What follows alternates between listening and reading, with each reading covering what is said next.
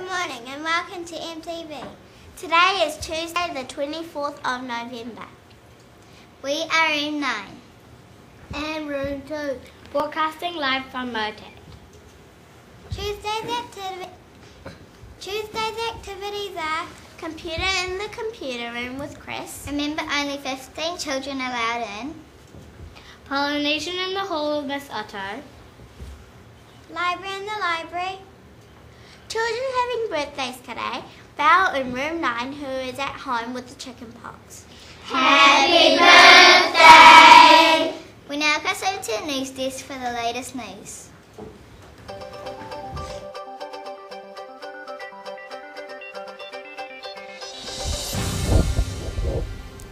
Kia ora, good morning and welcome to MTV News. I'm Anastasia. And I'm Erin. In local news, New Zealand adventurer Kylie Wakelin today started her ski journey to the South Pole, towing an, an 80 kilogram sled loaded with food, fuel, and equipment. Miss Wakelin is part of a team of eight women who expect to take 40 days skiing for 6 to 10 hours a day to travel over 800 kilometers to the pole and mark the 60th anniversary of the Commonwealth. The next hot showers won't be until February 2010. Pooh! In world news, an Australian man had a nasty experience when he was slashed across his chest and face by a kangaroo that was holding his dog underwater. Chris Ricketts said he was walking his blue heeler Rocky on Sunday morning when they surprised a sleeping kangaroo. His dog chased the kangaroo into a pond. The kangaroo held the dog under the water when Mr. Wakelin tried to free his pet. The kangaroo attacked him with his hind legs. The moral of the story? Don't mess with kangaroos. And now for the weather. Today will be warm and cloudy with occasional showers. If it is a wet interval or lunchtime, seniors use the undercover shelter at interval and middle school use it at lunchtime.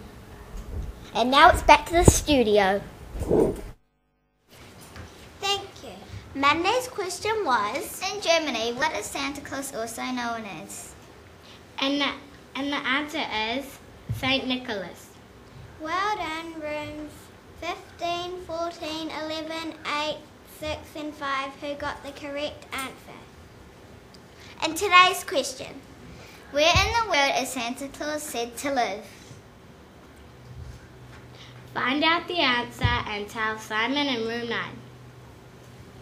Remember to return your Mathathon forms and money quickly. The big prize draw is this Friday and there are all those great prizes. Just a reminder for Jill and Miguel, if the on-air lights is on in the media suite, please do not enter. Thank you for turning in. This is room 9 and room 2. Wishing you a great Tuesday. Have a great Tuesday!